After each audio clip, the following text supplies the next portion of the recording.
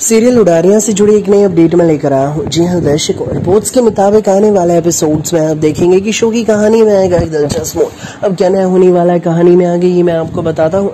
दरअसल होगा यूँ कि शो में दिखाया जाएगा कि जो अमरीक है। जी हाँ अमरीक। वो गुरप्रीत मम्मी से बात करने के लिए जाएगा और कहेगा कि, मम्मी, मुझे कुछ गड़बड़ लग रही है, कोई बड़ी अनहोनी होने वाली है। तो गुरप्रीत भी कहेगी कि हाँ बेटा, मुझे भी लग रहा है। फतेह आज मुझसे बहकी बहकी सी बातें कर रहा था, तलाक के बारे में पूछ रहा था। तब वो बताएगा कि, मम्मी, नीमी मासी भी कह रही थी कि जो जैस्मिन है और फतेह, उन दोनों के बीच कुछ गड़बड़ है और मुझे भी ऐसा ही लगता है।